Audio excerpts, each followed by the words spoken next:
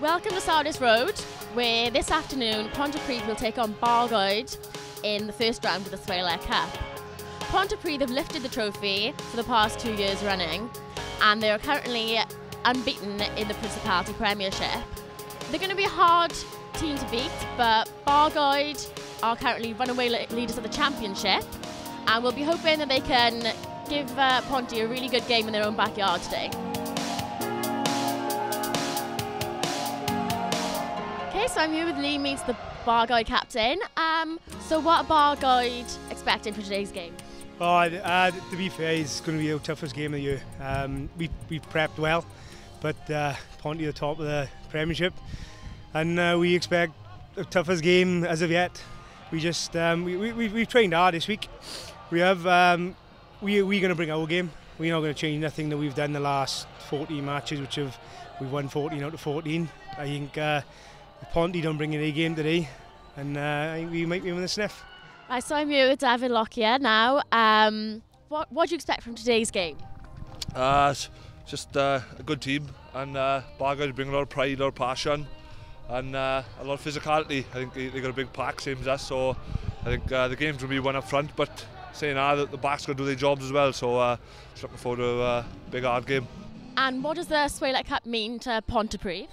Yeah, it's massive, especially when you're defending it. It's, uh, it's a good journey to go on and to get as many finals as we have and have days out like like we do for us and for the fans is, is brilliant and uh, we always we always take it seriously like we take today's game uh, I know they division below but uh, we take it like any any big games like a Bristol game or when we play Nice it's, it's going to be a massive game for us.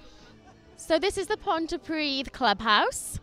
We're going to go in and have a chat with some of the supporters and see what their feeling is about today's game.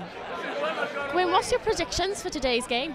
Well, I think it's going to be a very hard, tight game, but I think Ponty probably win by 17 9, something like that. I think it's going to be a really close game.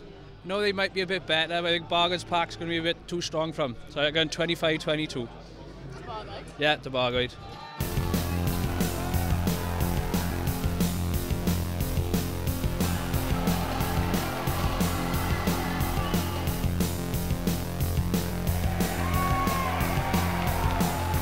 Bargoed. Hey,